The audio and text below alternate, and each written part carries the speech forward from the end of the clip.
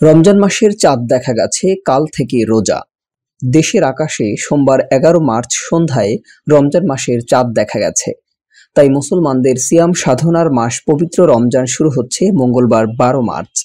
আগামী ছয় এপ্রিল শনিবার দিনগত রাতে পবিত্র লাইলাতুল কদর পালিত হবে। রাজধানীর বাইতুল মোকাররমে ইসলামিক ফাউন্ডেশনের সভাকক্ষে সোমবার সন্ধ্যায় জাতীয় চাঁদ দেখা কমিটির সভায় এ সিদ্ধান্ত নেওয়া হয়।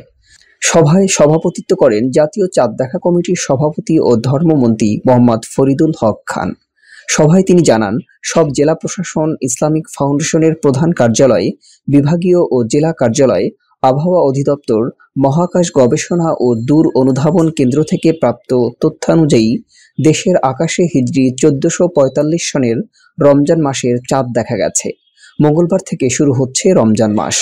এর আগে সন্ধ্যায় বাইতুল মোকররমে ইসলামিক ফাউন্ডেশনের দিনী দাওয়াত ও সংস্কৃতি বিভাগে ফোন করে ফাউন্ডেশনের মানিকগঞ্জ, শরীয়তপুর, হবিগঞ্জ সহ বিভিন্ন জেলার উপপরিচালক চাঁদ দেখার সংবাদ জানান।